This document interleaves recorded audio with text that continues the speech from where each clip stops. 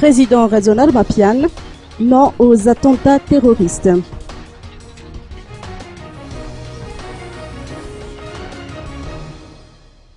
Le président Iradjonar Mapian condamne fermement l'attentat terroriste survenu à Nous samedi dernier, ayant fait une innocente victime et plusieurs blessés.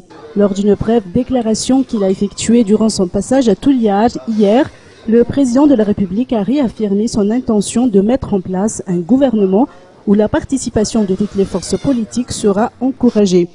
D'ailleurs, les négociations sont en cours, a-t-il souligné. C'est également le cas dans le domaine des relations internationales, a-t-il fait savoir. Ceci pour dire qu'il n'aura pas fallu attendre la nomination des membres du gouvernement pour commencer le travail.